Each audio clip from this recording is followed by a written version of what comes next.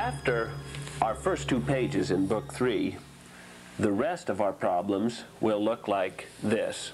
Here we see we have two factors, our over factor x plus 2 and our up factor x plus 4. Here again we could outline it or we can just recognize that if we go over x and we go up x, we will have an x squared. Over x and up x, the two dimensions give us an outline for an x square. And we can connect the over and the up, the first over and up, which will show us our first piece, or our x square. Now in all our multiplications, from here on out, we will always be doing the same thing. We will always be building a rectangle. We will always get our first piece, and then we will come over the amount we must come over. We must come over two units. I must extend the entire amount over two units. I extended the distance of the entire amount over 2. I am already up x by getting my first piece, so I must now extend my dis distance up 4. I can extend the distance up 4 by placing the 4x bars above.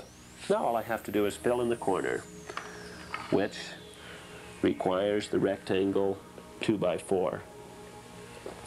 Notice, my rectangle is made up of four rectangles. And I will shift it so we can see the four rectangles. And here we have the representations of the four rectangles. Here we have this rectangle, which contains eight units. And notice again, we are doing what? Learning our multiplication facts. 2 by 4 is 8. Here we have four x's in this rectangle. Here we have two rectangle, two x's in this rectangle. And here we have x squared in this rectangle.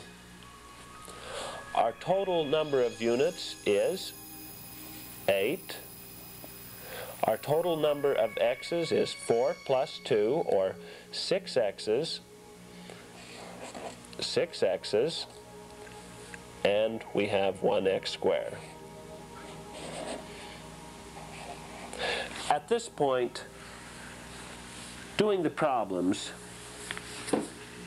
becomes a very easy matter if we are gaining more and more efficiency with our multiplication facts. The addition facts will not slow us down so much because it is easy to add a small amount to a larger amount. But as we move along, it would take us forever if we had to stop and count every individual unit. We must be able to skip count those amounts, count by eights, 8, 16, 24, etc., and then eventually just know that 8 nine times is 72. An important